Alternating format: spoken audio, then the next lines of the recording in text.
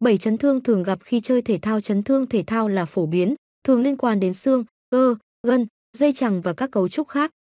Một số chấn thương nhỏ có thể điều trị tại nhà bằng trường đá, cao dán, kem xoa bóp. Tuy nhiên có một số chấn thương cần được điều trị y tế.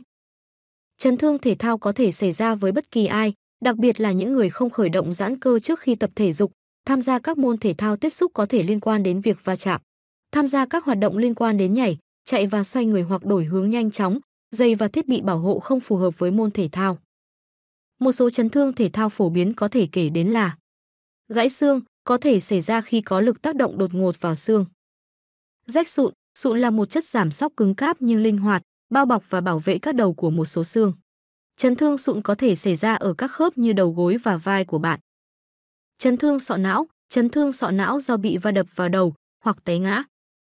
Chật khớp, chật khớp xảy ra khi đầu xương di chuyển ra khỏi vị trí bình khớp. Viêm gân, viêm gân xảy ra khi các mô kết nối cơ với xương, gân bị sưng và viêm. Nguyên nhân là do các chuyển động lặp đi lặp lại theo thời gian. Một ví dụ là bệnh viêm gân bánh trẻ.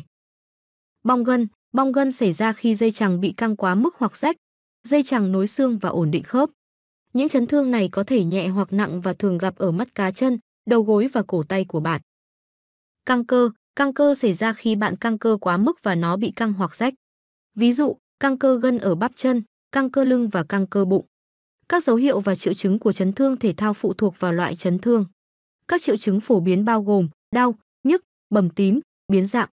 Chẳng hạn như xương hoặc khớp bị lệch khỏi vị trí, giảm phạm vi chuyển động, không có khả năng chịu trọng lượng ở hông, chân hoặc bàn chân, khó di chuyển một bộ phận cơ thể một cách bình thường. Chẩn đoán chấn thương thể thao thường được thực hiện thông qua việc kiểm tra thể chất với các câu hỏi, điều gì đã xảy ra, triệu chứng của bạn. Tùy loại chấn thương, vận động vương, vận động viên sẽ được đề nghị thực hiện việc xét nghiệm hình ảnh với chụp XQANG, chụp công ty hoặc MRI để có chẩn đoán cụ thể. Việc điều trị chấn thương thể thao cũng rất khác nhau, tùy thuộc vào loại và mức độ nghiêm trọng.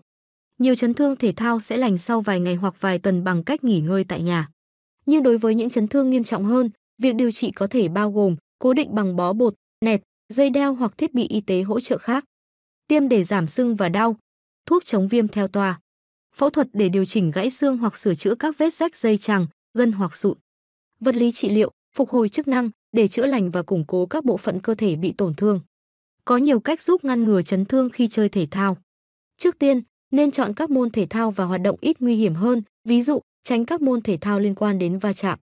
Không nên chơi cùng một môn thể thao hoặc thực hiện cùng một hoạt động quanh năm. Điều này đặc biệt quan trọng đối với trẻ em.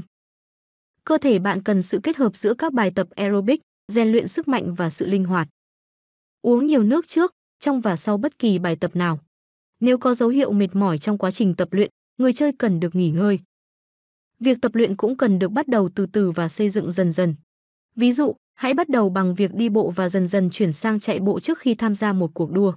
Giãn cơ trước và sau mỗi buổi tập, làm nóng trước và hạ nhiệt sau. Mang giày và thiết bị an toàn phù hợp và đảm bảo chúng luôn ở tình trạng tốt. Cao rán Iaguchi với thành phần chính gồm camphor, menthol, metin salicylate giúp giảm đau cơ, đau khớp, đau lưng, bầm tím, bong gân. Cách dùng: rửa sạch, lau khô chỗ đau, gỡ bỏ miếng phim và dán lên da vùng bị đau. Cao dán dùng cho người lớn và trẻ trên 12 tuổi, không dùng quá 3 lần ngày, mỗi lần không quá 8 giờ và không dùng quá 7 ngày liên tục trên cùng một vị trí đau. Chỉ dùng ngoài da, không được dán lên mắt, mũi, miệng, niêm mạc, vết thương hở, vùng da bị chảy xước. Cần hỏi bác sĩ trước khi dùng nếu bạn bị dị ứng với các